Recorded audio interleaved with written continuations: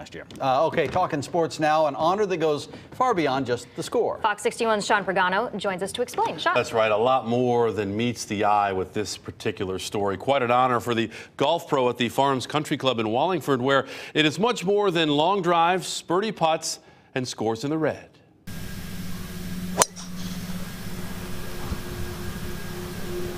Jim Hanlon was recently named the 62nd Connecticut Section PGA Professional of the Year. But for Hanlon, it's less about what he does on the course and more for what he does about the course.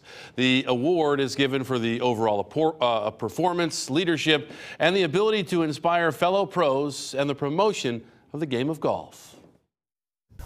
We spend a lot of time, you know, with administration, setting up golf events, you know, customer contact, that uh, the days of the golf professional being out playing golf all the time, uh, those days are gone. I don't think I've been on this golf course more than three or four times in the past two or three months. The whole club exists around golf, and it really takes a great uh, uh golf professional to make it so. He makes us better, we make him better, and it, it shows because everybody comes there and just loves the place. Now, Hanlon has been the pro at the farms in Wallingford for the last 20 years. He will officially be honored at a ceremony in November. At the Hartford